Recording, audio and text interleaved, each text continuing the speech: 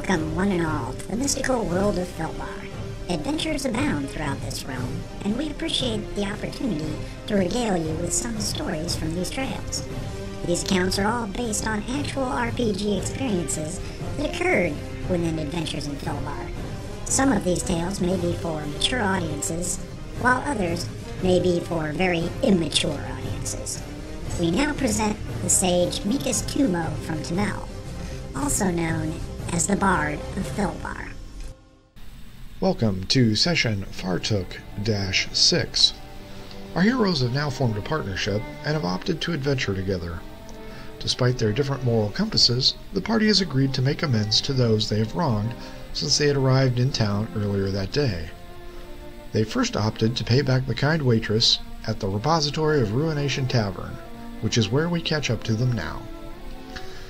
Uh, so, as you see, um, the entire incident was simply a case of a um, misunderstanding, uh, mumbled Sister Elaine. The barmaid's mood was not enticed by the Reverend Daughter's discord, and she stood with her arms crossed in front of her. An uncomfortable silence fell over the group, with the only noise being the bartender sweeping up broken glassware from the floor. The party looked up at each other, and Cabe Silvertongue cleared his throat and nodded at the cleric.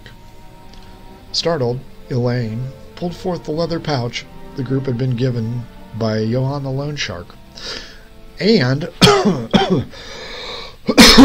we would like to uh, pay you for your troubles, the bard continued.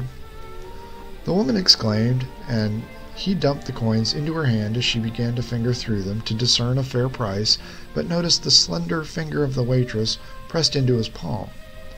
The comely waitress extended three fingers and slid a trio of gold crowns into her own hand. Fargus and Welby each groaned loudly at the 30% loss in revenue, but received a cross look from Lady Irena, who graciously thanked the red-headed waitress. Have a seat, she said. This will more than cover what you owe, but I'll get you some food and drink, as it is nearly dinner time, and it's the least I can do. The bartender finished picking up the last of the damaged items and flipped the sign on the door from closed to open, immediately bringing in a handful of rough-looking sailors who were immediately warned to mind their manners. The group was served quickly and discussed their past experiences, getting to know each other a little better. As the repast was finished, they returned to the discussion of throwing themselves onto the mercy of the guards. I still think it's a bad idea, said Welby O'Toole. I'm sure Johann's thugs are going to inflict more than enough punishment on that guy. Why should we take our lumps? The rest of the group piped up, explaining that freeing a prisoner from the stocks was not the right thing to do, no matter how much punishment he got. The halfling shook his head but conceded the point. As the tavern filled to capacity, the group thanked the waitress for her understanding and left the business. Moving down the muddy road, they passed a trio of animal handlers guiding a very tired and bloody ram down the road back to the docks. As the heroes reached the guard outpost, they noticed that the stocks again had a familiar resident. Kelsey? they exclaimed in unison. Looking closer, they recognized the man they had delivered to Johann was again in the custody of the guards. A pair of new guards approached the group and ascertained their intentions. Cabe, the bard, stepped up and inquired if this was indeed Kelsey. The guards confirmed the party's suspicion and announced that they were too late to grab their reward. Puzzled, Lady Irena asked the men-at-arms to expound upon that comment. One guard pointed out that Kelsey had magically escaped earlier, but was captured by Johann the Brewer, who received the 500 gold piece reward for the criminal's recapture. 500 gold pieces!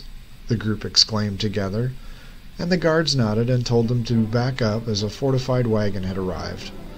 A quartet of guards came out of the building, and the six men cautiously removed the criminal from the stocks before rudely depositing him into the armored wagon destined to the Phoenix Gulag. The party stared in disbelief at what they had heard and huddled up as Kelsey was being unloaded. Did you hear that? Johann screwed us over, exclaimed the diminutive rogue. He probably knew there would be a big reward and sent us in to do the dirty work. I say we go kick his ass.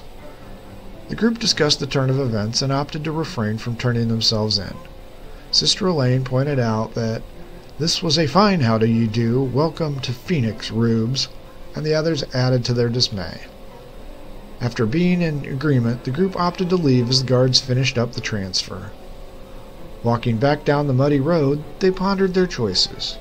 Sister Elaine stated she still needed to report to the church, and perhaps they should all find rooms for the night and let cooler heads prevail in the morning.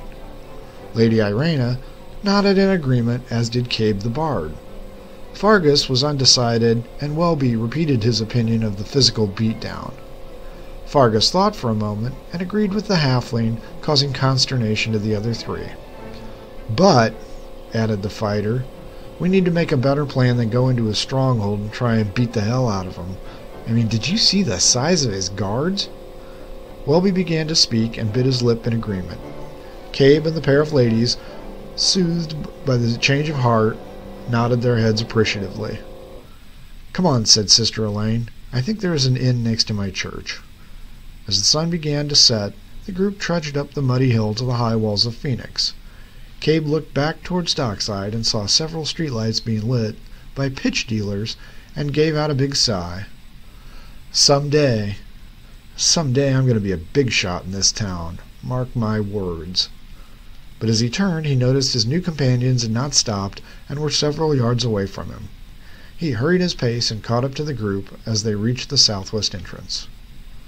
Several carts were backed up as the traffic was heavy and the group began to look around at all the people milling about. Guards walked the parapet, keeping a close eye on the events in and outside of the walls. After several minutes, the guards completed their check of the wagons and they were allowed to pass. A gauntlet of guards formed up with each, ins- with each inspecting the adventurers. Lady Irena passed by one of the guards gave a whistle and a crude remark causing Fargus to step up to the man. You need to mind your manners, stated an angry Fargus.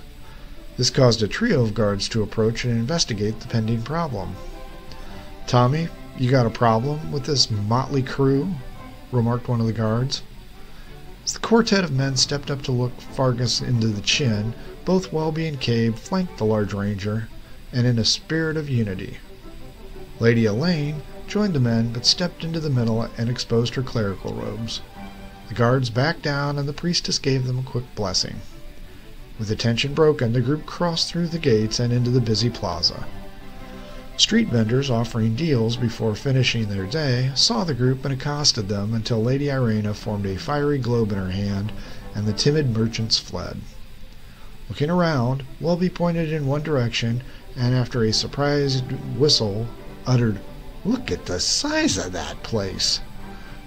The adventurers followed the extended arm and were amazed at the sheer size of the structure. Sister Elaine smiled as she recognized the adornments. This is the chapel of our Savior Dilo. This is my destination. Look, over there is an inn. Let us get you guys some rooms. The PC smiled after a long day and headed into the tall establishment bearing the name Gateway Inn. We close out this episode now and give you our thanks for listening. Please subscribe to this podcast and don't forget to follow us on Twitter at The Bards Podcast. For everyone in Adventures of Filbar, thanks for listening.